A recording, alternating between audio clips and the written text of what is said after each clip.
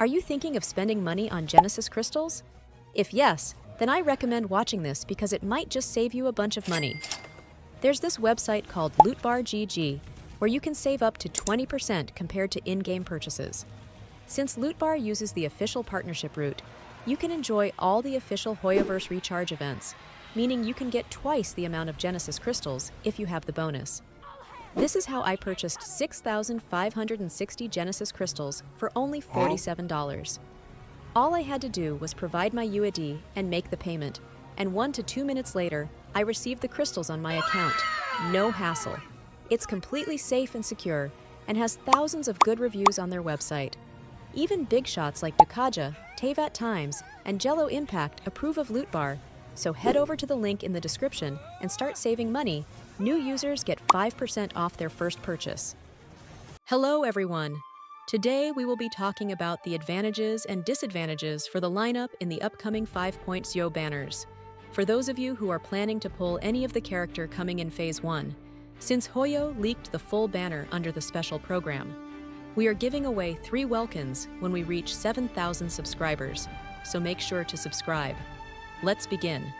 Hoyo has now confirmed the upcoming banner lineup for Phase 1 of version 5.0, which is unusual since full lineups are rarely revealed this early. However, this time, the entire roster was presented to us doing the special program when the developers were explaining the new banner system called Capturing Radiance. The four stars for Mualani and Kazuha's banners include Bennett, Kachina, and Xinyan. There is a chance Bennett and Xinyan could be placeholders, but we won't know for sure until Hoyo reveals the banners again closer to release.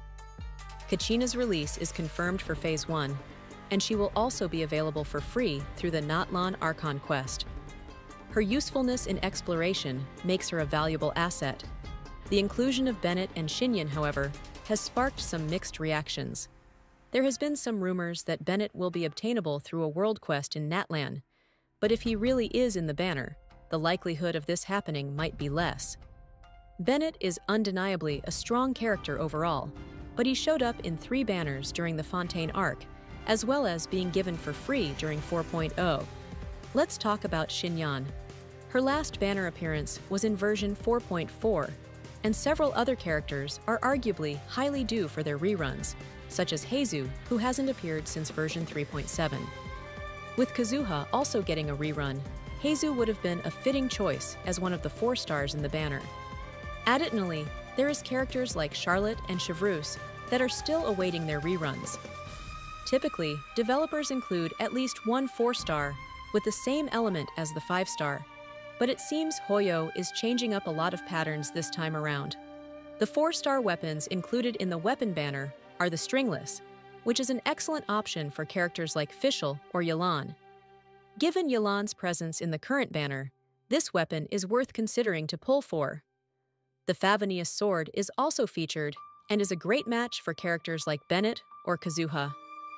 Overall, the four-star characters in this banner may not stand out for longtime players, with Kachina being the exception. However, those interested in pulling for Mualani shouldn't be discouraged, as she is expected to be one of the top DPS characters from Natlan. For those wanting to pull Kazuha, it's crucial to note that Xilonen, the upcoming Geo character with capabilities similar to Kazuha's, is anticipated to arrive in version 5.1. This might be Hoyo's way of encouraging players to pull for Kazuha just before Xilonen's release. Make sure to join our Discord server to take part in frequent giveaways, get instant leaks and updates, and hang out with other Genshin players, including me. Link is in the description. Thanks for watching and subscribe, or you'll lose your 50-50 to Qiqi.